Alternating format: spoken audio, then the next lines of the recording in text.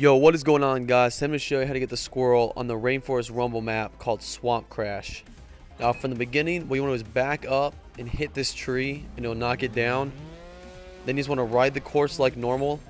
And during this time, until you get to the part, you cannot crash. If you crash, you have to start over and re-knock the tree down because it'll reset the map. But it was take the map just like normal, go up this little hill. Again, try not to crash because if you do, you have to start over. The reason I'm not skipping forward is because it's pretty early on. Go over this rock. And I see this raft down here.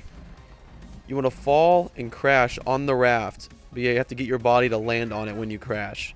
Then the raft will go down. And you get this little cinematic. There you go. Squirrel 13 to 20.